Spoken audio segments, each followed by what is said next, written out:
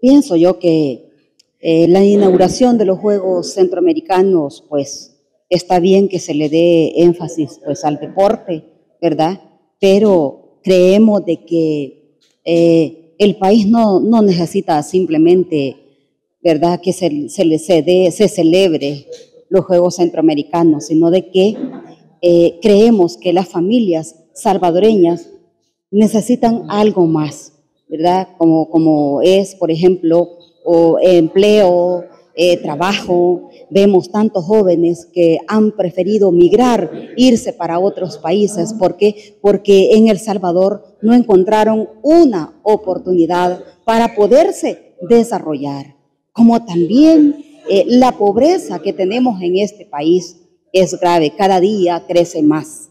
Entonces, creemos que el llamado al presidente es no solamente apostarle, en este caso, a los Juegos Centroamericanos, pues qué bueno, ¿verdad? Pero que también se le debe de apostar a, a otros sectores, como lo es, eh, pues, el alto costo de la vida. Nosotros siempre lo hemos denunciado, el alto costo de la vida es grave en este momento. Hay familias que no alcanzan a comprar sus alimentos, ¿verdad? Y así eh, sucesivamente, pues podemos ver que, eh, pues, eh, que cada día, cada día para, para muchas familias es muy difícil poder acceder a una alimentación digna. Acerca de los días de asueto que decretaron por los Juegos Centroamericanos, ¿qué opinas de esto? La verdad que sabemos que el presidente pues juega con, con, con los recursos de todo un pueblo salvadoreño, eh, cuando vemos de que eso, esos recursos, pues porque cuando él decreta, decreta eh, días de asueto, estamos hablando que se está tocando la plata de los salvadoreños. Está bien que el país estuviera eh, en un lapso de abundancia, pero en este momento no. En este momento no. Lo que pasa, lo que podemos ver es que el presidente, ¿verdad? En estos cuatro años, el presidente a eh, todas las obras que él ofreció. Eh, ha habido, digamos, un retraso. Y ya hoy, pues que ya prácticamente se llegan a los cinco años de gobierno y no se ven las obras que el presidente ofreció en su momento. Entonces, ahora que él, ah, digámoslo entre comillas, que él ya va de salida, entonces ahora él está corriendo, ¿verdad? Está corriendo eh, nosotros tenemos contactos con muchos trabajadores, eh, muchos se quejan de que están siendo sometidos a, trabajo extras y hay un cansancio por parte de los trabajadores, ¿verdad? Eh, que van corriendo con esas obras. Y pues aquí vemos de que, quizás el plan que tenía el gobierno, pues le ha, salido mal, ¿verdad? Porque hasta, estas alturas, no, no finalizar con las obras que ellos ofrecieron en campaña, pues yo sí creo de que es, ha sido un grave error por parte de este gobierno. Hace algunos días pusieron la primera piedra para la construcción del Hospital Rosales. ¿Qué opinas de esto? Eh, yo lo veo eh, una gran publicidad.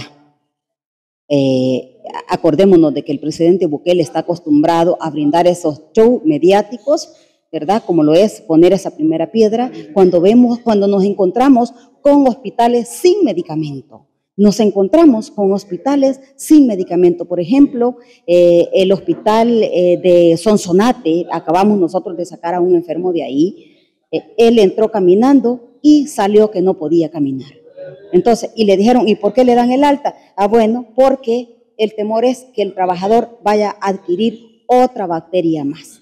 Entonces, nosotros nos preguntamos, cuando hay otras cosas que el presidente Bukele debería de hacer énfasis y en este momento creemos que no lo están haciendo. Tenemos hospitales sin medicamentos, hospitales cuando llueve, viene una tormenta, todo se inunda. Entonces ahí podemos ver que eh, los funcionarios de este gobierno pues no lo están haciendo bien su valoración acerca de que el día de ayer se conoció de que Hardy García va para la vicepresidencia, va, va, a postularse como candidata para la vicepresidencia.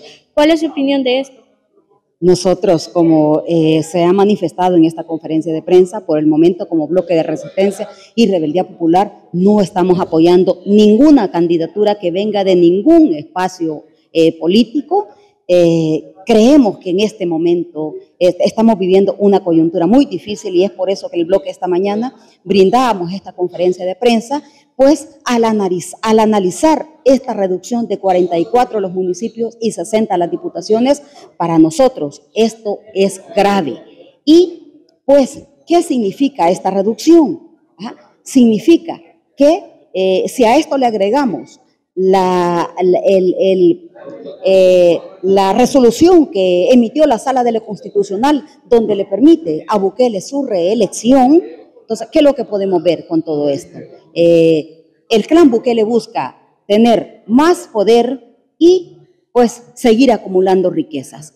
Y ante ello nosotros vemos eh, que existen los partidos de oposición y el llamado en esta conferencia de prensa era para los partidos de oposición a que realmente analicen esta situación, porque lo que ha sucedido se nos está quitando se, ha interrumpido el proceso electoral, se ha modificado eh, eh, el proceso eh, político que teníamos en El Salvador, en donde con esta reducción de 44 municipios a, a las diputaciones, prácticamente se le está dejando el espacio libre para un solo partido, que es el de nuevas ideas, el que está en el poder en este momento, y dejando en desventajas a los partidos de oposición. Y lo más grave es que nosotros no vemos a los diferentes partidos políticos de oposición que eh, se estén pronunciando, porque lo que ha sucedido acá es grave. De hoy en adelante, aquí no van a haber eh, elecciones libres. Y es por eso que el bloque daba, sentaba esta posición esta mañana.